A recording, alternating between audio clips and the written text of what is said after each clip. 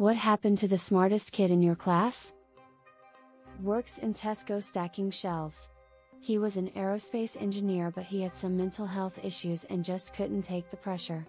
Super smart and really nice guy, but always struggled socially. I believe he works for NASA.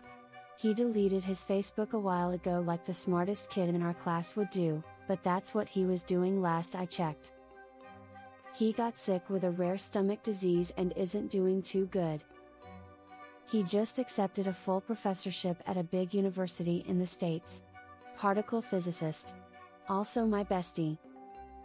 One is an anesthetist, one is a pediatric cardiologist, and the other was CFO of a major bank in our home country before moving to Switzerland to work in finance there. Died from a brain tumor right after he graduated high school. He was dang smart. Could play the piano upside down too. There are two. I remember one of them crying when they got an A on a test in like 7th grade. One of them, the one who cried, is an executive in a Fortune 500 company. Nothing special but making a lot of money. The other one is a brain surgeon. After never having even smoked a cigarette or drank alcohol in high school, straight as all the way through, he got a full ride to a really good university. As a freshman, he dropped acid, walked out in front of a car and was killed. Went to a big college. Got a degree in tech. Now makes six figures and owns a townhouse outside of Baltimore. He lives with his grandmother mainly. Smokes a shitload of weed. Flies a girl from Colorado to fuck and smoke with. I married his sister. He moved to Poland and became a molecular biologist. He went to MIT, works for Apple, and has a very expensive home in California. He also has a wife and four kids and seems to be very happy. I remember he was programming games in high school and was valedictorian. A big nerd who became a wealthy big nerd. Disappeared into a shadowy government job. Poof gone. Edit while this exploded, almost like the US government headhunts like any other business I guess, playful face. That was me. Dux or valedictorian of my high school. Voted brainiest by my peers for the school yearbook. Highest university entrance grades of my school. Quintessential nerd. I went into chemical engineering, because that was the degree brainy kids did. I was okay at the job, but never great. Bounced around across five different manufacturing companies, mostly in entry level positions or close to it. Has some mild successes, got a few promotions. Got made redundant a lot.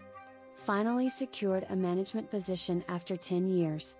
And realized I absolutely hated every aspect of the job. Did a lot of soul searching. It really was a massive shock to my system that I had failed at something that was meant to be for the smart people. Took a lot for me to redefine my identity without smart being at the heart of it. These days I teach chemistry at the local high school. I absolutely love it. Kind of regret that I turned my nose up for years because I was too smart to be a teacher. But I can't change the past, so all that's left to do is learn from it.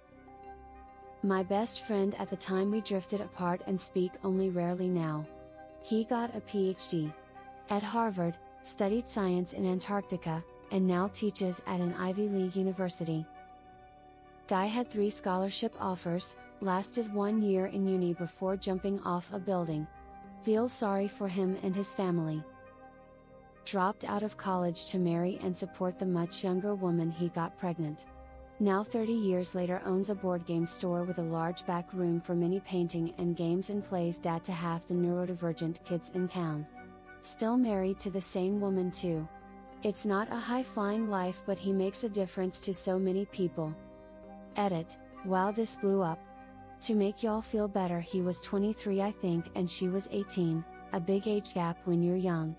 It was also in the Netherlands, where at least at the time I've been gone a while we didn't really care so much as long as it wasn't a 10 year difference or one of them was under 15.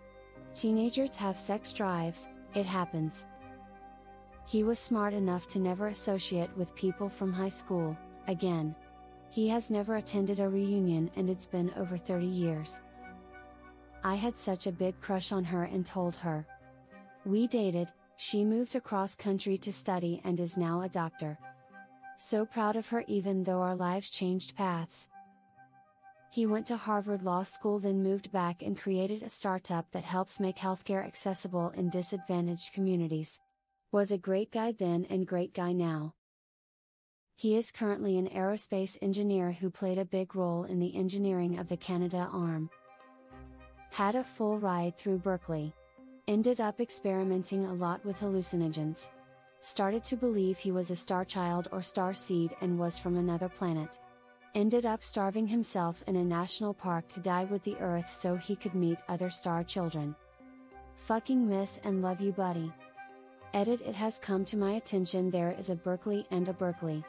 He was the smartest kid, not me lol. So I'm updating this to add the correct college.